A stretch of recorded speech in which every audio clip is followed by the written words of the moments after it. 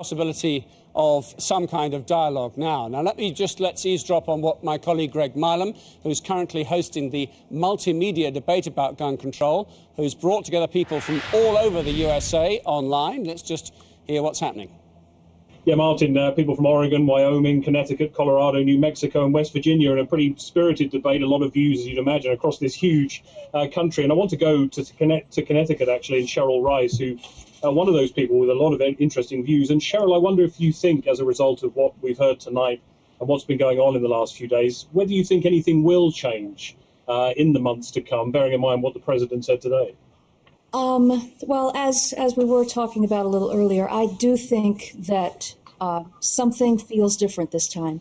It does feel like this might have been the tipping point to get something done. Now, I, I don't know how widespread it will be. I think um, that the assault weapons ban probably will be reinstated, which is a, a, major move forward from my point of view.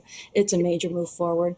Um, I think the discussion uh, has become much more serious and the deaths of this many children, I think, has moved people on all sides, all sides of this debate. So um, I, I hope and pray that things are going to get better. It seems like we're moving in the right direction.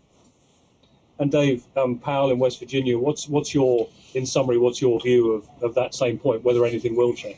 I would just say, uh, anyone who sees this, take a look at the rates of death by handguns or by any guns in all the other industrialized countries, and then take a look at what we have here in the United States and really think about do you need a handgun? Do you need an assault gun that is designed to kill people?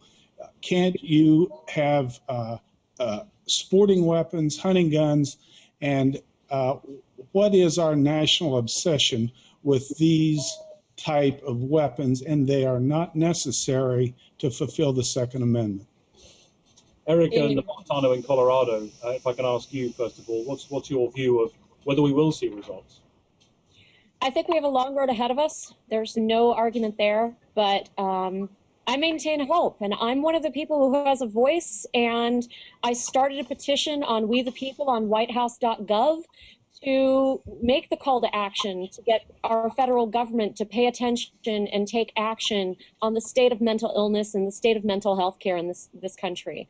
Um, I'm, I'm going to keep yelling, but with that yelling is going to come along action and advocacy and participation in my local community and my state.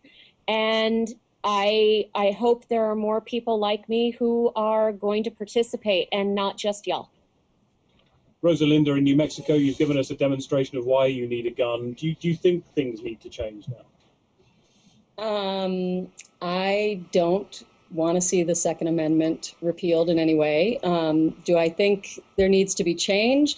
Um, I agreed with I agree with the woman that came before me talking about mental health uh, focus. Obviously, that's a critical component here.